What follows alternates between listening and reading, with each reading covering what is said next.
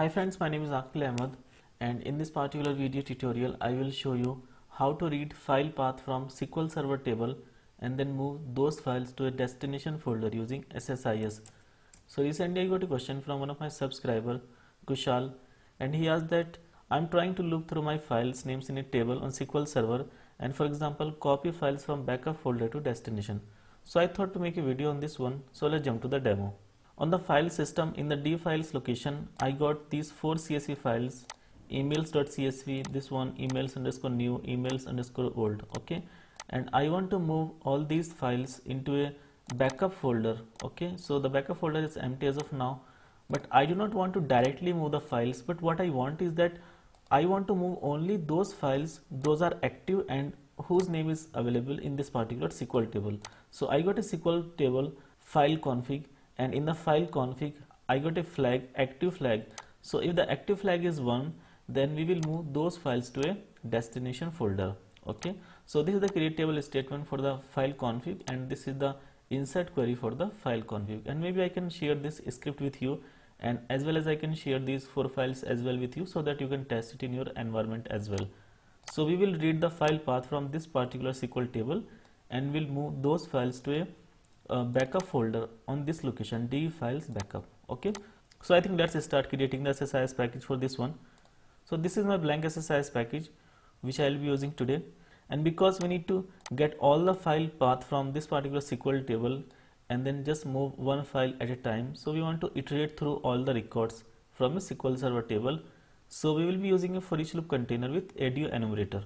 And then we need the file path ssis variable as well and the dest folder path variable as well okay? So let's go back to the SSIS package and create the appropriate variables here. So let me click on the variables pane and let me try creating the variables here. So the first variable that I will create is the object variable obj file path. And the data type will be object. So this will hold all the file path into a single variable object variable okay? Now another variable I will call is file path and the data type will be string here and this will hold one file path at a time. So when the for each loop containers iteration will run then this variable will hold one file path at a time and then we can easily move that file into the destination folder using the file system task. So we have declared two variables. Now the third variable we want is the dest folder.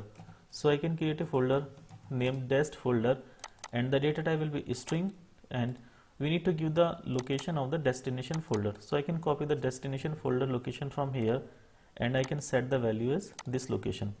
So we have declared all the three variables. Now I can close this pane so the first task that I will create is the execute SQL task and in the execute SQL task we will get the file path to be moved. So I can call it as get file path and I can right click and I can configure this one. From the connection I need to make a connection to the test database onto the SQL Server 2019 instance because our table exists inside the test database okay? And the SQL Server instance is the 2019 instance. So we already have a connection to that database so I will select this connection and I can click on OK now under the SQL statement I need to write the query which can return with the file path for all the available files which are active here. So this query is returning the three columns but I am only interested in the file path so I will select only the file path column from here and I can execute this one. So this will return me only the file path. So I can copy this one and I can paste the query here. Now click on OK. From the result set we will select the full result set because it is returning more than one value. Now I can go to the result set. I can click on add.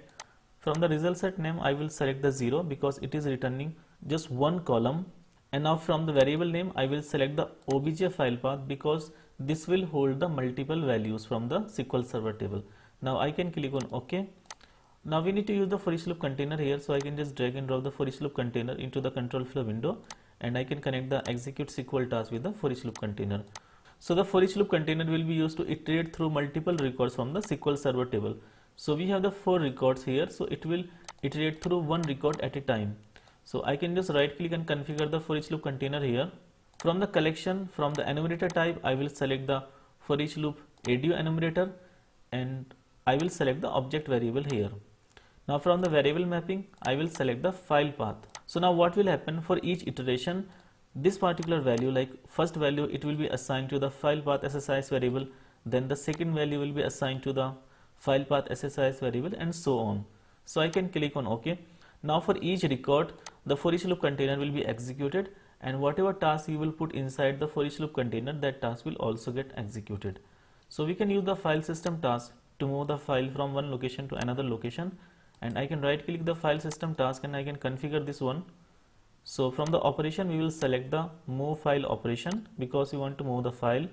Now from the source connection is source path variable so we can set it to true because our source file path is contained inside the file path SSIS variable. So from the source variable I will select the file path SSIS variable. So this is the file path SSIS variable. Now for the destination connection it is asking is destination path variable? So we can set it to true because we have created a destination folder for holding the destination folder path. So we have created a folder dest folder and which hold this particular location d files backup location okay? Override destination. So it is saying that if the file already exists in the destination so do you want to overwrite it? So we can set it to true. So now what will happen? If a file already exists then it will overwrite that file in the destination folder. So we have configured the file system task here and now I can click on OK. So now our SSIS package is ready and it can move all the files whose file path is available in the file config SQL Server table where active flag is equal to 1 and the files are available at this location. So those files will be moved to the backup folder. Okay. So now what I can do, I can just open the SSIS package and I can click on start button. So this should start running the package. So the package ran fine and if I open the D files location so all the files have been moved and you can check all the files inside the backup folder. So I think this is pretty straightforward that you can easily move the files from one folder to another folder and the file path can be stored inside the SQL Server table. Yeah, so I think that's it for today's video. Thank you guys for watching the video and if you like the video then please click the like button. Do subscribe to our channel. Press the bell icon and click on all so that you will be notified every time I upload a new video. Thank you so much.